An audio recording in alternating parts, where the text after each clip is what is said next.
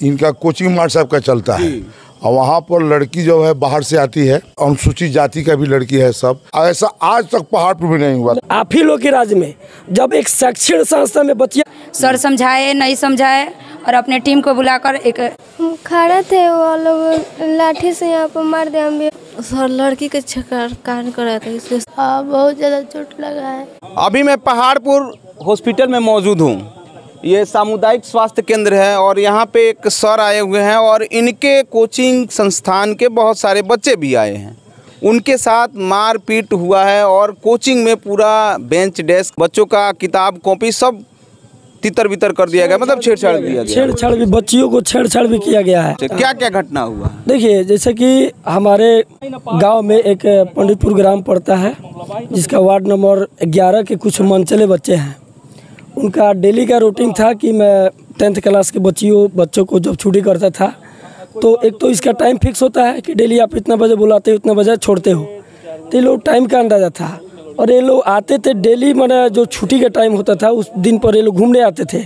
Bike को race से हाँकना बच्चियों को थोड़ा डिस्टर्ब करना। अच्छा बाइक भी तेज चलाते हैं? हाँ बाइक भी तेज चलाते हैं। चूँकि बच्चियों में एक स्वभाव पाया जाता है कि अंत पर बहुत ज़्यादा उसके साथ कोई घटना घट गया होता है।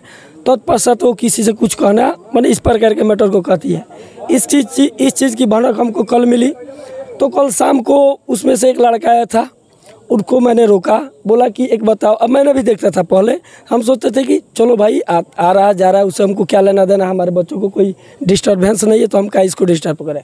लेकिन जब इसको हमको सूचना मिली तो उसको मैंने रोका। बोला कि एक बात बताओ भाई तू डेली इसी छुट्टी के टाइम पर और क्लास के टाइम पर आप कहाँ आते हो, कहाँ जाते हो? तो बोल रहा है कि रास्ता है, हम हज़ार बार आई, हज़ार बार जाई, तरह से का मतलब हम ठीक बात भाई, ते हज़ार बार ना, पचास हज़ार बार आवा लेकिन इस समय में तो क्या करे आओ, तेरे जाते एक और तनी हमारा व्यवहार दे। मैंने ऐसा ही मैंने बोला, तब तक वो गाला गलौज पर उतर गया। उन लोग का मन इतना ना बढ़ा हुआ कि इसके पहले भी उन लोग का बहुत सारा वारदात हमारे गाँव में हुआ है। तो कल थोड़ा धाका मुका हुआ, उसके बाद ये लोग गए और अपने सहपाठियों को जो पहले से इस प्रकार के वारदात को दे रहे थे और फिर कुछ और भी लोगों को इसमें शामिल करके मैं पढ़ा रहा था। दो बजे के करीब में ये लोग आए। उस समय मेरा दो क्लास चल रहा था, एक आठवां क्लास का और एक सातवां क्लास के उसमें एक लेडीज़ टीचर भी पढ़ाती हैं। तो मैं आठवां का हैंडल कर रहा था और वो जो लड़की है, दीदी है, वो सातवां का हैंडल कर रही थी। तो लोग आए, बाहर से गाला गलौज करना शुरू कर दिए। पहले पहले चार लोग थे।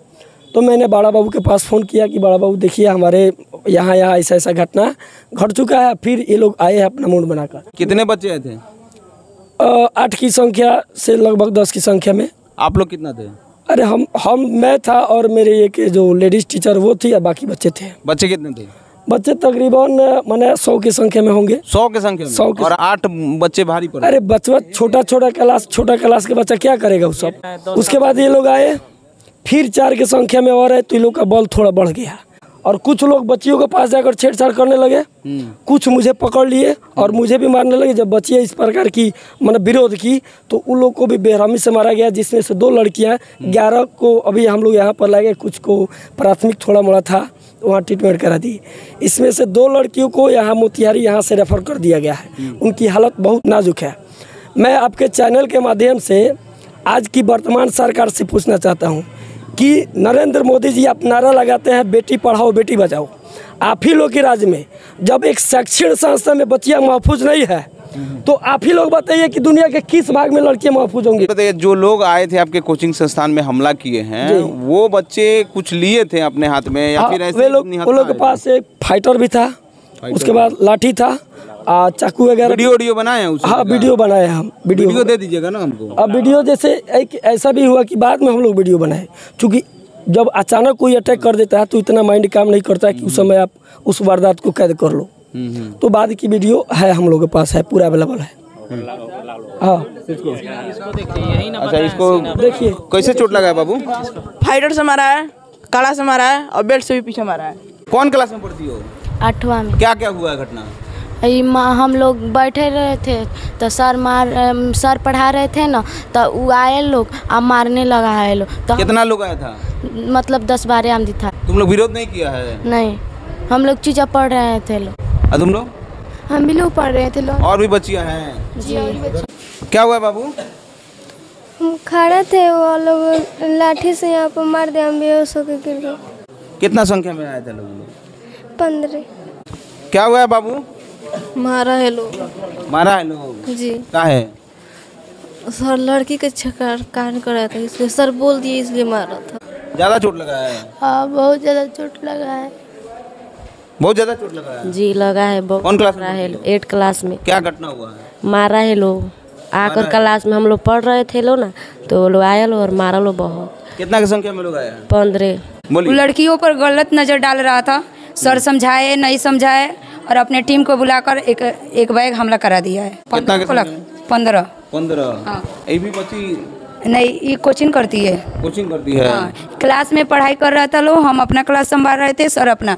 अचानक से आके सर पे बच्चा सब पे हमला कर दिया है लोग तुम लोग को भी पीटा गया है? जी। क्या इंटेंशन था उन लोगों का? लड़कियों लोग के छेड़ रहा था तो सर माना कर दिया तो हम लोग पर सर पर हम लोग मार दिया ये बच्चा सबका क्या नाम है? जो आया था लोग पहचान रही हो? नहीं हम लोग तो नहीं पहचान रहे दूसरे क्षेत्र से आते हैं हम लोग। अच्छा। पश्चिमी से पूर्वी में पढ़ने आते हैं लोग हम लोग तो नहीं पहचानते हैं सर पहचानते हैं सर समझाए हैं। क्या नाम है आपका? जैसे मेरा नाम जोखू कुमार साहब पड़ा लेकिन मुझे लोग सोनू सर के नाम से जानते हैं। कोचिंग का क्या नाम है? कोचिंग का नाम एम एस कोचिंग सेंटर है। कितना क्लास तक पढ़ाते हैं? छठा से लेकर टेंथ तक ही वहाँ क्लास चलाई जाती है। कितने बच्चे हैं टोटल? टोटल मेरे पास लगभग 300 की संख्या में बच्चे होंगे। इस बैच में? ये जो बैच चला था उसमें दोनों को मिलाकर 110 या 20 के करीब में होंगे। घटना कितने बजे हुई? घटना दो बजे के करीब में हुआ है। कर अरे जो घटना हुआ है ना वैसा आज तक नहीं हुआ था। अरे तो वही लड़की पूछ रहे हैं ना। हम बता दिए वहाँ के मुखिया हैं। क्या क्या घटना हुआ है? जो इनका कोचिंग मार्ट साहब का चलता है। और वहाँ पर लड़की जो है बाहर से आती है करमुआ से आती है अगल बगल की आती है। सब अनुसूचित जाति का भी लड़की है सब। ऐसा स्थिति है कि कुछ वहाँ का असामाजिक तत्व तो लड़का जो है पहले से भी घटना घट चुका है लेकिन गाँव में समझा बुझा कर दूर किया गया। और वो स्थिति है नहीं। वो सबके साथ छिड़खानी किया है मारपीट किया है मारा भी है सब। बड़ा बाबू गए हैं। आ, आ, ऐसा आज तक पहाड़ पर भी नहीं हुआ था। बाकी बार में तक नहीं हुआ। नहीं हुआ था। संस्था में प्रवेश करके। बाकी बच्चियों के साथ और बच्चों के साथ जो भी हुआ है दुर्व्यवहार या फिर कोचिंग संस्थान में घुस करके जितने भी बच्चे जो भी इस वारदात को अंजाम दिए हैं, उसके विषय में आप लोग की क्या प्रतिक्रिया है? कमेंट सेक्शन में बताइएगा।